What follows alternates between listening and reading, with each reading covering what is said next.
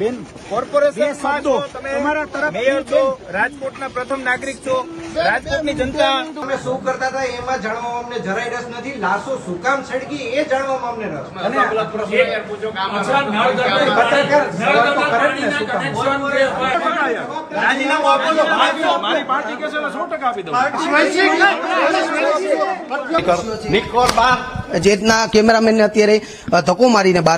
છે. બાપનું ઘર ટકા એટલે જ આપણા વડીલો કહી ગયા હતા કે તમારામાં જે કાબિલિયત છે, તેનાથી જે બનવું હોય તે બની જાઓ, પરંતુ બીજાએ આપેલ ભેટ તમને એક દિવસ ફરી ઝીરો કરી દેશે. આવું જ બન્યું રાજકોટમાં અગ્નિકાંડ બાદ. નમસ્કાર, હું સંજય આહિર. બેન, તમે મેયર છો. હા બેન, તમે રાજકોટના પ્રથમ નાગરિક છો. આવું કહ્યું પડ્યું પત્રકારોએ. કદાચ રાજકોટના મેયર નૈનાબેન પેઢડિયા ભૂલી ગયા હશે કે તેઓ શહેરના પ્રથમ નાગરિક છે અને મેયર છે. રાજકોટમાં ટીઆરપી ગેમ ઝોનમાં જે આગ લાગી, તેમાં છવ્વીસ જેટલા બાળકો હોમાઈ ગયા છે, ત્યારે રાજકોટના મેયર બિલકુલ ચૂપ છે. પત્રકારો સાથે સંવાદ નથી કરી રહ્યા જનતાને કોઈ સંદેશ નથી આપી રહ્યા અને સવાલથી ભાગી રહ્યા છે. પ્રશ્ન એ છે કે શું માત્ર ગેમ ઝોનના માલિક અને નાના નાના અધિકારીઓ જ આ બનાવમાં જવાબદાર છે? શું રાજકોટના મેયર, કમિશનર કે સ્ટન્ડિંગ કમિટીના ચેરમેનની કોઈ જવાબદારી જ નથી? જો તમારામાં જરાક પણ નૈતિકતા હોત, તો તમે રાજીનામું આપી દીધું હોત અને જનતાની માફી પણ માંગી લીધી હોત. કે મારા મેયરના શાસનકાળ દરમિયાન આ દુર્ઘટના ઘટી છે, જેની હું માફી માંગુ છું. માટે પ્રેસ પત્રકારોથી ભાગવાનો સમય. નૈનાબેન તમે મેયર છો રાજકોટના? ભાગો તો કેમ નૈનાબેન? પત્રકારના સવાલનો જવાબ ના આપવા પાછળનું કારણ શું? કેમ મૌન? ત્યારે પણ ચૂપ હતા અત્યારે પણ ચૂપ છો બેન. શા માટે ચૂપ છો? કોઈ પ્રેશર છે તમને? બેન વાસ્તવમાં નૈનાબેન કેમ ભાગો છો? મોબાઈલ કેમ કોઈ પ્રશ્નના જવાબ નથી આપતા નૈનાબેન? બેન કોર્પોરેશન શબ્દો તમારા તરફ મેયર છો રાજકોટના પ્રથમ નાગરિક છો રાજકોટની જનતા આગની અંદર હોમાણી છે દુઃખ નથી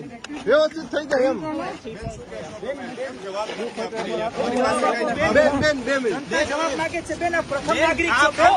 બેન આ પ્રથમ નાગરિક છો બેન આ પ્રથમ નાગરિક છો. ફોન કરી લ્યો. બેન, કેમ ભાગો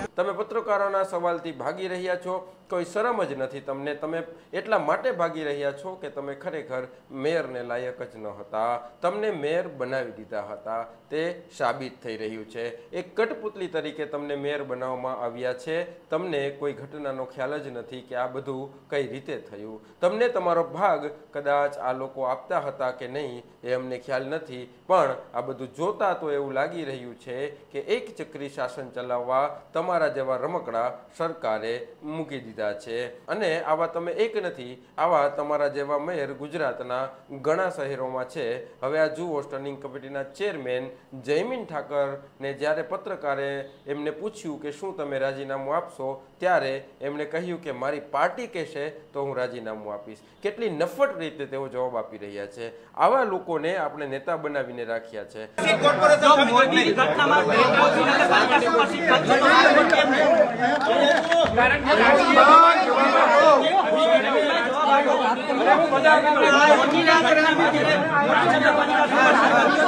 રાજકોટ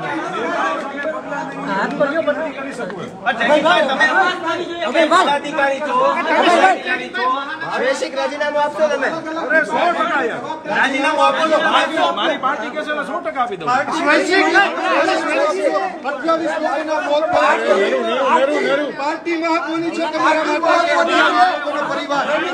આ બધું જોયા બાદ પણ જો આપણી આંખ ખુલતી ન હોય, તો નક્કી આપણે કોઈ સારા આંખના ડૉક્ટર પાસે ઈલાજ કરાવવો પડે અને એ આંખનો ડૉક્ટર આંખની સારવાર કરે ત્યારે એ પણ ધ્યાન રાખવું પડે કે આ ડૉક્ટર ટકાવાળીવાળો તો નથી ને, તેવી સ્થિતિનું હાલ નિર્માણ થઈ ગયું છે. મેં તમને બે દિવસ પહેલાં વીડિયો બતાવ્યો હતો, ત્યારે પણ પરસોત્તમ રૂપાલા પત્રકાર પરિષદ છોડીને ભાગ્યા હતા અને ફરી એવું જ બન્યું. જ્યારે એક પત્રકારે એમને પૂછ્યું કે તમે શું કર્યું એ અમારે નથી સાંભળવું, પરંતુ લાશોના ઢગલા કેમ થયા અમારે સાંભળવું છે, ત્યારે ફરી નક- નકટાની જેમ પુરુષોત્તમ રૂપાલા અને રામ મોકરિયા અને મેયર ત્યાંથી રીતસર ભાગ્યા હતા. અને રામ મોકરિયા બહાર નીકળતા જે શબ્દો બોલ્યા હતા, એ જરા પણ યોગ્ય ન હતા. તમે જુઓ રાજ્યસભાના સાંસદ રામ મોકરિયા શું બોલી રહ્યા છે અને કેવી રીતે પોતાની બુદ્ધિનું પ્રદર્શન કરી રહ્યા છે. હાલો રામભાઈ નો હાલો રામભાઈ નો લઈ લ્યો લઈ લ્યો રામભાઈ નો પાલિકા અંતર્ગત આ જે વિસ્તાર છે તે આવતો હતો. મેયર મેડમ ને આટલા મીડિયા કર્મીઓ છે પ્રથમ વખત જોઈ રહ્યા છે. આ ગંભીર બાબત નથી? છાપામાં પદાધિકારીઓ સ્ટેટમેન્ટ આપે છે અધિકારીઓનો વાંક બધા ડિપાર્ટમેન્ટ તો તમે શું કરો છો? આટલા બધા ડિપાર્ટમેન્ટ જવાબદાર થઈ રહ્યા છે. ફાયર વિભાગ ટીપી વિભાગ જ્યારે અમને ખબર પડી ત્યારથી સાત વાગ્યાથી બધા કાર્યકર્તા આગેવાનો ત્યાં હાજર હતા. સવારે પાંચ વાગ્યા સુધી અમારા હોમ મિનિસ્ટર આવ્યા ત્યારે પણ અમે હાજર હતા. પછી એને સૂચના મળી કે પાંચ વાગે આપણે છૂટા પડીએ છ વાગ્યાથી પાછા મળવાના છે. સતત સવારે છ વાગે નાઈ ધોઈ બધા તૈયાર થઈને આવી ગયા હતા અને એ જ્યાં સુધી રહ્યા ત્યાં સુધી અમે હાજર ભાઈ, રહ્યા. સડકથી લાશો પાસે તમે શું કરતા હતા એમાં જાણવામાં અમને જરાય રસ નથી. લાશો શું કામ સળગી એ જાણવામાં અમને રસ. અને અલગ પ્રશ્ન યાર પૂછો કે આમાં પત્રકાર સવાલ તો કરે જ ને શું એ સરકાર નક્કી કરશે. કમિટી નક્કી કરશે. હવે જુઓ પત્રકાર સની મેયર જ્યારે રામ મોકરિયાને સવાલ કરે છે ત્યારે રામ મોકરિયા તેમને ધક્કા મારીને બહાર કાઢવાના પ્રયાસ કરે છે. અને મારા બાપનું નથી તારા બાપનું છે એવા શબ્દોનો પ્રયોગ કરી રહ્યા છે. નીકળ બહાર નીકળ નીકળ બહાર જે કેમેરામેનને અત્યારે ધક્કો મારીને બહાર કાઢી રહ્યા છે. મારું ઘર છે તાર બાપનું ઘર નથી. રામભાઈ કોને કયો છો આવી રીતે? તું જવા દે બહાર નીકળ ભાઈ. રામભાઈ આવી તું મારા ઘરમાં હું કરવા આવ્યો? કોને પૂછીને આવ્યો તું? મારા ઘરમાં કોને પૂછીને આવ્યો તું? તમને હું ઇન્ટરવ્યુ મારા ઘરમાં મારે નથી દેવું ઇન્ટરવ્યુ મારે ઇન્ટરવ્યુ નથી દેવું. મને ખબર છે આ મારું ઘર છે. પ્રજાના મારું ઘર છે મારું ઘર જોઈ શકો છે. છો. મારું ઘર છે આ જોઈ લ્યો લખી લ્યો થાય કરજે જા. શું રામભાઈ શા માટે તમે મારે કઈ નથી કેવું મીડિયાને તું- તું મને આગળ હું કઈ ના ગયો? મીડિયાને શું કામ- ઘરમાં મને પૂછાય ના તો હું મને આગળ કઈ અહીંથી ભાગી ગયો. ધક્કા શું કામ મારો? હું કરવા મને અહીંથી પૂછીને ભાગી ગયો કે હું રામભાઈ- આ તમે જે જોયું એ આપણા નેતાઓ છે. આ એ નેતાઓ છે કે જે ચૂંટણી સમયે આપણી પાસે મત માંગવા આવે છે અને જ્યારે તેઓના ભ્રષ્ટાચારની પોલ ખુલે છે ત્યારે તેઓ નફટબાજી પર આવી જાય છે. પોતાનો નકલી ઈમાનદારીનો નકાબ ઉતારી નાખે છે અને પોતાનો અસલી ચહેરો દેખાડી દે છે. અને આ અસલી ચહેરો જોયા બાદ પણ તેમની વાતો સાંભળ્યા પછી પણ જો આપણે આ બધું ન સમજી શકીએ તો આપણે આપણા કાનનો ઈલાજ પણ કરાવવાની જરૂર હોય તેવું લાગી રહ્યું છે. આપણા કાન કેમ આટલા બેરા થઈ ગયા છે કે આ બધું નથી સંભળાઈ રહ્યું અને આપણો જમીર જાગી નથી રહ્યો. આવા લોકોને ઉખાડીને ફેંકી દેવાય. સુરતમાં તક્ષિલામાં બાળકો હોમાયા. ત્યાંના પ્રશાસનની બેદરકારીથી તો પણ આપણી આંખો ન ખુલી. મોરબીના કાંડથી પણ આપણા કાનો ન ઝળક્યા. હરણીકાંડથી પણ આપણો જમીર ન જાગ્યો. તો આપણે ખરેખર સારા ડૉક્ટર પાસે જવાની જરૂર છે. અને આપણે આ બધાને સવાલ કરતા પહેલા આપણે પોતાને જ સવાલ કરવાની જરૂર છે કે આવા નફટ લોકો આટલા વર્ષથી સત્તા ભોગવી રહ્યા છે અને આપણા આંખ અને કાન કેમ કાંઈ કામ નથી કરી રહ્યા? અને આપણે શું કરી રહ્યા છીએ? આ લોકોનો જમીર મરી પરવારી ગયો છે કારણ કે આટલા બાળકોના ભોગ લીધા બાદ પણ આ લોકો બિલકુલ શરમ વગર નફટબાજી કરી રહ્યા છે અને પત્રકારોથી ભાગી રહ્યા છે અને પત્રકારો સાથે ઉદ્ધતાઈ ભર્યું વર્તન પણ કરી રહ્યા છે.